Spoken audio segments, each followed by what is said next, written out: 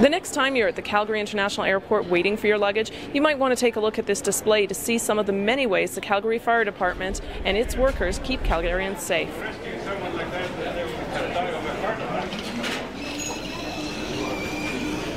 Calgarians are extremely proud of their fire department as indicated by a 99% approval rating. No politician will ever have that. Thingy blinking every time I push this button.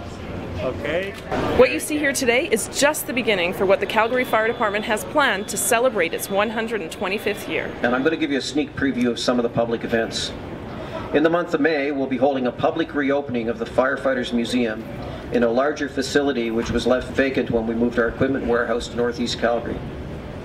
In July, the Fire Department and the Calgary Police Service, as part of our joint 125th celebrations, will have an increased presence at the Calgary Stampede it's it's a whole bag of things. It's not just uh, you know it's not just about fire trucks and about fire stations. It's about running a fire department properly with the highest level and highest degree of efficiency that we can. From the Calgary International Airport at Carousel 9, this is Nadia Mohara.